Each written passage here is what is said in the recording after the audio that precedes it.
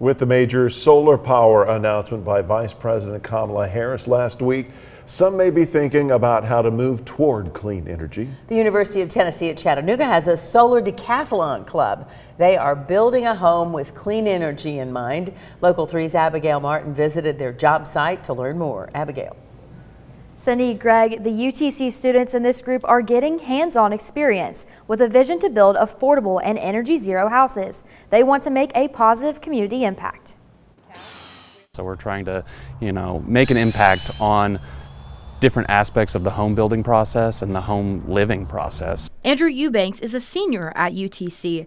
He says they are using sustainable and energy producing materials so the home can be self sustaining. He says they are trying to reduce the home's carbon output. We believe that it can, it can grow to a community of these types of homes that are all self sustained or self sustaining as a community. Junior Christian Despo says many aspects make their home unique. He says the roof's bifacial solar panels will gather energy from the sun. Also, the home is sold by capsule, allowing the buyer to purchase more for personalization. Despo is grateful for the hands-on experience. Most engineers graduate, they don't have hands-on experience building what they're designing, and I think it's really important for every engineer that comes out to be able to build what they're designing. They say the three capsule home will be completed in September. Despo says this will give them time to build the house and work on a plan to transport their finished product to the Sustainability Decathlon competition in California in October.